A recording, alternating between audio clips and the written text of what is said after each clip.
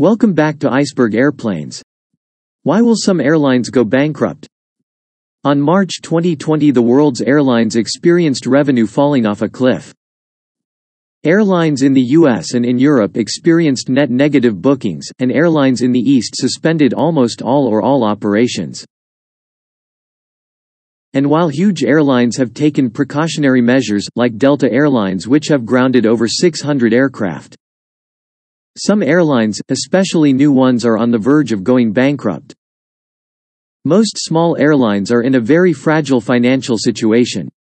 They might have a large debt or they might not be making enough revenue. We have seen Flybe Airlines collapse in early March. And more and more airlines are in a difficult financial situation. The reason COVID-19 might make airlines go bankrupt is because when airlines are having net negative booking which means they are having more cancellations than booking they are barely making revenue let alone profit. Which means when they fly flights they are losing money. Operating a flight has a lot of costs.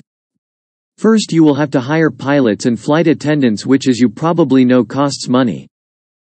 Then you will have to pay the ground crew for preparing your plane. Then you will have to pay for takeoff fees and landing slots. And most importantly you will need to order fuel. All of these come at a cost, but in a normal flight passengers paying money should be more than all of these costs combined. This means that the airline is making a profit, but when there are net negative bookings the airline is not making any profit. Not only this but they are also making very little revenue. So this means that they have to spend money made from other flights just to pay these flights. In huge airlines they have so much money that they can pay these costs for a while but small airlines may spend all of their money trying to pay for these costs and become bankrupt. Airlines usually make money from flights but then they have to blow it all when they are losing money. So many airlines' solution is to ground aircraft and cut flights, but even this may not be enough. For example United Airlines grounded aircraft and cut flights, this was meant to put the people that were traveling on one plane which lowers costs. But even the planes that were flying had an average load factor of only 20 to 30%, this is very bad for the airline. Another problem for airlines are travel bans. Travel bans restrict people from traveling to places, so any route which has either the starting or ending countries that have put a travel ban must be cancelled. This is very bad for the airline because if a route is part of a travel ban it must be suspended immediately. This means that if one of their popular routes is suspended then the airline won't have enough money to supplement the routes that are currently losing them money.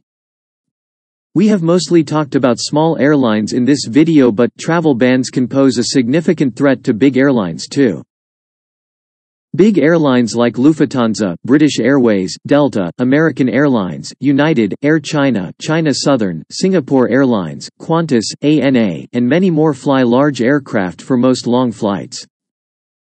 This means that travel bans are even more costly to the airline because they are suspending their big aircraft which usually make a lot of money.